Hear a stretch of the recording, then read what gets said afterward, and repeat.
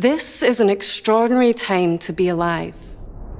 What we see before us is great social, political, and environmental change affecting health and well-being on an unprecedented scale. And at the forefront of critical thought, research, and applied knowledge in the healthcare sector is the University of Melbourne and its valued partners. Together, our leading work improves and saves lives. That's the camera that we use uh, to look inside the artery.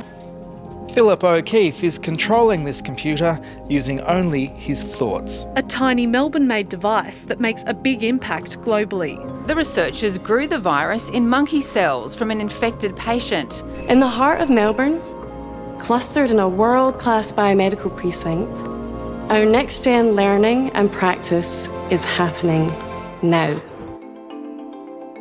Enabled by our dedicated, diverse, and vibrant community, our people, partners, and collaborators are the bright minds and passionate people who see within their means the ability to change what's possible.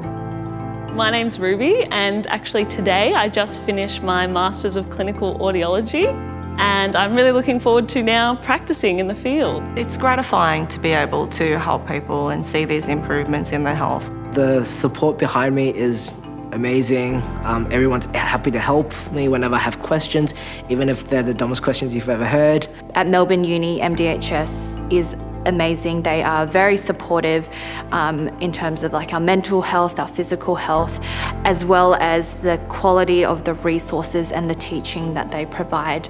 So I'm very grateful to MDHS.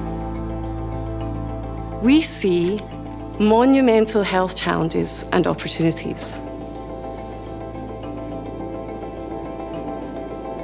We see our purpose to benefit society through the transformative impact of education and research is more important than ever.